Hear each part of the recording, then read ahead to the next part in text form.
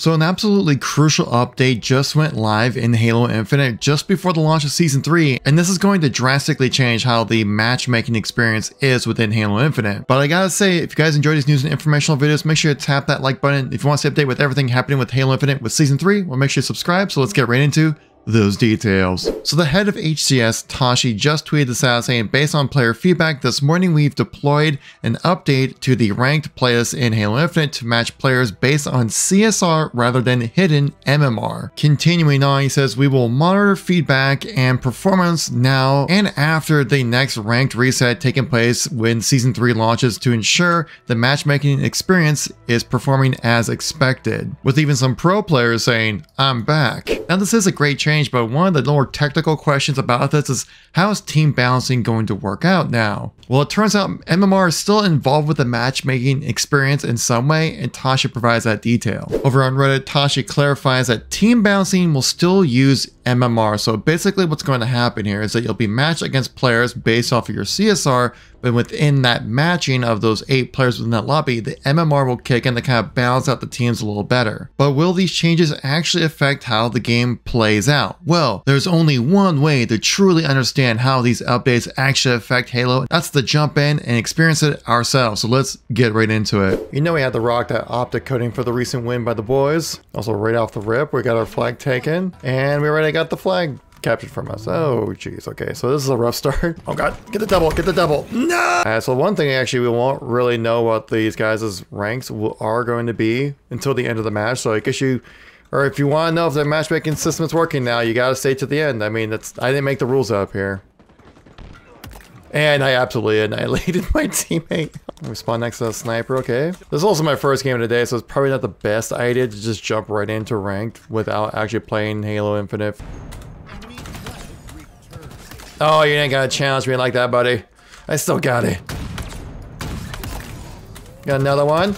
Oh, we double it up. Let's make some space for the boys here. I'm just stacking ammo, sniper ammo over here. Attack our flag? Okay, where in the heck do you think we're going with that? There we go, that's some teamwork right there, team shooting get this flag run going. I will say I'm actually a diamond tier player, so I can't imagine this being too crazy of a lobby, but I've been noticing some onyxes, but I've also seen some plats in my lobby, so some weird stuff can go down. Right now we're a bit of a stalemate holding these flags together. They have our flag. Oh! But things are about to change. My teammate did walk in front of my shots! And they got the return. We get the cap. Let's go, boys. You'll love to see it. And we get that kill. Oh, it's going good. Oh, we got clipped up by somebody else. Okay. Well, we traded. What? Okay, well, at least we stopped them from returning the flag. They're pushing it forward. This is feeling like a pretty balanced match, not gonna lie right now. They're taking flag holes, we're playing the objective. They just got our snipes, this is kind of scary here. I'm getting double teamed, this is tragic. But that's another score. All right, go team. This is a straight up back and forth match, man. This is actually might be true where like actually your CSR now matters with how you match against players it seems like. Crazy concept, having your rank actually matter, but it looks like it might actually be the case. If you guys are curious, I am playing on mouse and keyboard right here, so that might be one reason why I'm missing some shots within this match, because I've been playing so many years of Halo on controller, but I really want to get mouse and keyboard, and just ever since that December update added in a little bit of aim assist for the mouse and keyboard, which I think is actually needed for this game in particular. I think I was kind of getting mouse and keyboard on the par with controller. You can say I'm actually kind of doing a decent job of keeping up. We shouldn't have traded right there. If anything, the guy should have walked away with the kill, but hey, I think that ultimately worked out in my favor. There we go. See, look at that little strafing action. Keep it on target. We're doing all right for ourselves.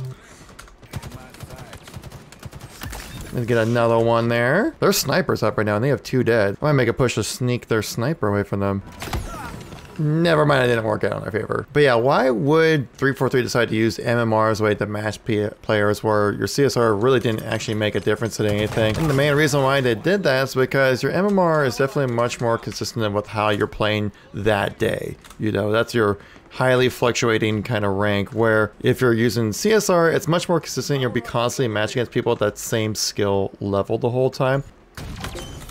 Get a kill. There we go. Ugh, we still get the shots. We got the fly cap. We still can run up and get this camo. And so it does kind of make sense in a way why you would use MMR over CSR. Now, they did implement an update, I believe back in earlier of Season 2, where your CSR actually did play a factor of how the matchmaking worked, but it didn't really change the general experience. Most of the time you did kind of match people that were really questionably in your lobbies, like saying like, since I'm a diamond tier player, seeing like gold players in my lobby, I'd be like, okay, that's a little, uh, unique to say the least right there. But it also just kind of felt like your rank didn't really mean a whole lot. Oh, that was a good shot. Uh, just because like it was since everything's based off a hidden MMR that like your CSR was really just kind of just like a number that didn't really mean anything. Kind of felt more like an average rather than like what your rank actually is. But now basing your rank matchmaking off of your CSR makes it feel like your rank actually means something and plays a factor of who you actually play against, which I think is kind of the whole point of having a ranking system in the first place, you know what I mean? Oh, we can party that guy. Oh, that should have been no scope. We know it. You know it was. We got the insist on that, though. We're playing defense. We got a few more kills left to get here. Oh, we got the no scope. Ah, I couldn't get the headshot with the battle rifle, but we end up getting the dub. It looks like yes. We got that win right there. Now the big question is what rank were these players and how was the team balancing not only utilizing CSR, well, let's check it out. So I will say after playing that match, things felt pretty even. Like I didn't really feel like there was any player that was overly better than me or underperforming than what I would expect a player to play in my skill bracket. So it did feel like things were working out rather well, but where are the numbers? You gotta show me those. Where are the details? Where's what we're all about here, right? Well, first let's check out my team here. So the first player was a Diamond 1, Diamond 2, a Diamond 1, and then me who is a diamond two and a half now after that recent lobby as you can see right here. While the enemy team here, diamond one, a plat five, a diamond three, as well as a diamond one. So pretty much a lot of players which should be matching against. I'm actually playing against in here, so that's really great to see. But how is the team balancing lineup here? So with the MMR skill right here, the enemy team had just under a 1250 MMR, where my team here was 1247. So we actually were a little bit under their skill rank. And therefore, after going 17 and 10 that first game, I ended up gaining plus 9 CSR, which makes sense and actually feels rewarding to play. Now, I will be streaming more of Ranked Halo on my Twitch channel, guys. If you want to check it out, link in the description down below. But thank you very much for watching. I'll catch you on the next one. Peace out.